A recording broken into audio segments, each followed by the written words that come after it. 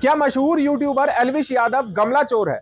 ऐसा इसलिए क्योंकि ट्विटर पर एक ट्रेंड चलाया जा रहा है और यह दावा किया जा रहा है कि गुरुग्राम में हुई गमला चोरी में इस्तेमाल की गई गाड़ी एलविश यादव की है।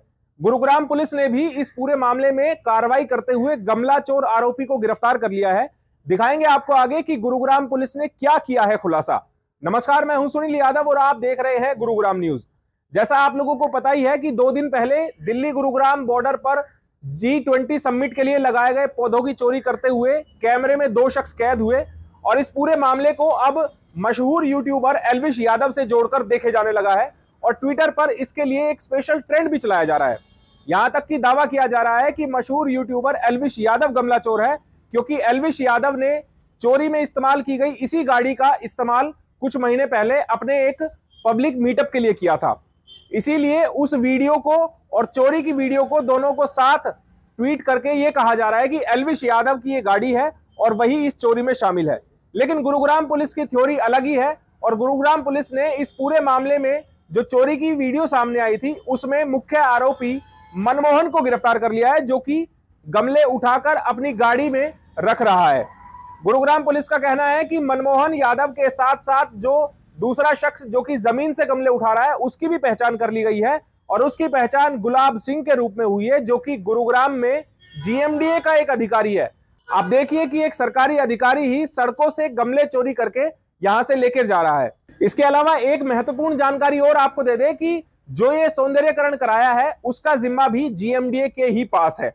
गुरुग्राम पुलिस ने कहा है कि चोरी किए हुए दस गमले और चोरी में इस्तेमाल की गई किया कार्निवल कार, जो कि 40 लाख रुपए की है, उसको गुरुग्राम पुलिस ने जब्त कर लिया है। मुख्य आरोपी जिसका नाम मनमोहन यादव बताया गया है, गुरुग्राम के गांधीनगर के रहने वाले हैं और उनको थाने से ही जमानत दे दी गई।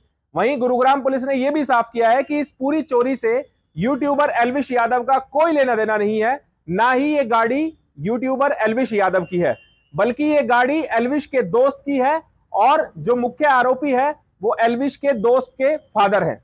इसीलिए कभी ना कभी एलविश यादव ने इस गाड़ी का इस्तेमाल किया होगा और अब लोग सोशल मीडिया पर गलत खबर प्रसारित कर रहे हैं। हाँ कल एक जीएमडी की तरफ़ से कंप्लेंट आई थी जिसपे हमने कल ही केस रजिस्टर कर दिया था। और जब वीडियो फुटेज को चेक करके नंबर जो उसमें आया उसको चेक किया गया तो उससे पता चलेगा कि वो कौन लोग हैं। और उनमें से जो एक एक्यूज है मनमोहन उसको कल शाम को ही गिरफ़्तार कर लिया गया और जो चोरी हुए गमले थे वो और जो गाड़ी जो उसमें यूज़ की गई थी उन दोनों को सीज कर लिया। क्या कुछ मंशा थी सर? क्यों चुराए गए ये गमले? अब मंशा तो गमले हैं क्या मंशा हो सकती है? कोई क्या कह सकते हैं इसमें? हम्म। लेकिन शायद सुंदर लग रहे थे और साथ में जो उनके सेकेंड एक्यूज है।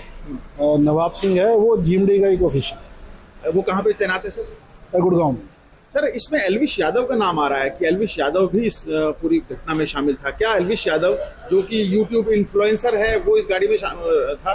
नहीं नहीं ऐसा कुछ नहीं है। जो ये मनमोहन है जिनकी गाड़ी है इनका जो लड़का है उसका वो दोस्त है। तो उसने कभी इनकी गाड़ी यूज़ की होगी अपने यूट्यूब को चैनल बनाने के लिए अदरवाइज़ उसका यहाँ कोई रोक यानी एलविश यादव का कोई इन्वॉल्वमेंट नहीं है इसमें। नहीं इसमें। सोशल मीडिया पर वीडियो वायरल होते ही जीएमडीए ने गुरुग्राम पुलिस को शिकायत दी और गुरुग्राम पुलिस ने तुरंत ही एक्शन लेते हुए इसमें मुख्य आरोपी को गिरफ़्तार कर लिया। लेकिन ना तो जीएमडीए ने अभी तक अपने अधिकारी को सस्पेंड किया है और ना ही गुरुग्राम पुलिस ने इस सरकारी अधिकारी को जेल पहुँचाया है। देखना होगा गुरुग्राम पुलिस कितना जल्द सरकारी अधिकारी पर भी ऐसा ही एक्शन लेती है। इस खबर के बारे में आप हमें अपनी राय कमेंट करके ज़रूर दीजिएगा। साथ ही साथ आप इस खबर को ज़रूर शेयर कीजिएगा ताकि सभी लोगों तक सही जानकारी सही समय पर पहुँच पाए। नमस्कार।